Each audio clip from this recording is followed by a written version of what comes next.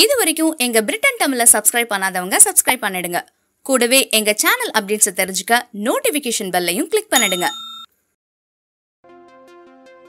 காவிரி மேலாண்மை வாரியம் அமைக்க தவறிய மத்திய அரசை கண்டித்து தமிழகம் முழுவதும் முழு பந்த் நடைபெற்று வருகிறது. திமுக மற்றும் அதன் கூட்டணி கட்சிகள் நடத்தி வரும் இந்த பந்த் காரணமாக தமிழகத்தில் இயல்பு வாழ்க்கை பெருமளவு பாதிக்கப்பட்டது. திமுக மற்றும் அதன் கூட்டணி கட்சி தொண்டர்கள் சாலை மறியல் மற்றும் ரயில் மறியல் போராட்டம் ஈடுபட்டு கைதாகினர். இந்த நிலையில் வேலூரில் இருந்து திருப்பத்தூர் செல்லும் நெடுஞ்சாலையில் திமுக பெண் தொண்டர் ஒருவர். திமுக கொடியை கையில் ஏந்தி சாலையில் வந்த பேருந்து ஒன்றை யாருடைய துணையுமின்றி தனி ஒருவராக நிறுத்தினார். தனி ஒருவராக பெண் ஒருவர் பேருந்தை நிறுத்தியதும் டிரைவர் உட்பட அனைவரும் கீழே இறங்கி வர அந்த பெண் கூறியதும் அடங்கிய வீடியோ தற்போது இணையதளங்களில் வைரலாக பரவி வருகிறது. இவர் வேலூர் மாவட்டம் ஆம்பூரை சேர்ந்த திமுகவின் மகளிரணி துறை செயலாளர் தெய்வானை. இதனை பார்த்துவிட்டு திமுகவின் செயல் தலைவர் மு க ஸ்டாலின் தெய்வானுக்கு பாராட்டுகள் தெரிவித்து வாழ்த்து கூறியுள்ளார். அது மட்டுமின்றி தன்னை நேரில் சந்திக்கும்படி அழைப்பும் விடுத்துள்ளார். மேலும் இது போன்ற செய்திகளுக்கு இணைந்திருங்கள்.